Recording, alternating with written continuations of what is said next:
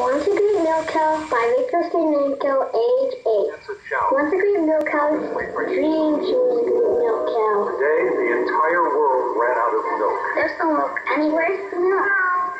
Help us, Bessie. It's up to you now, Bessie. Hooray for Bessie. Done Bessie. Not just a milk cow, but a great milk cow. Thank you, Bessie. Bessie. Will her dream ever come true?